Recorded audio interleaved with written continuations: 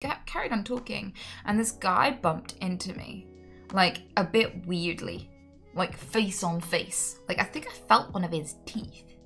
And I was like, oof. And he was like, sorry, sorry. And I was like, no problem. Five seconds later, we had to get off the train. And I go to look at my ticket to find out what platform I'm on next. And it's gone. So, like, that was all it took for my entire life to be upside down and for me to have just the worst fucking day ever. Because after that, I had no ticket.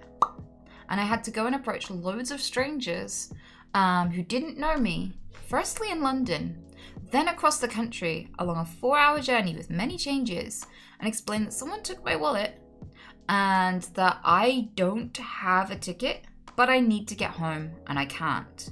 Now, the reason I couldn't use my phone, which I still had, was for two reasons. So after I packed up, um, my friend accidentally swapped out our charger wires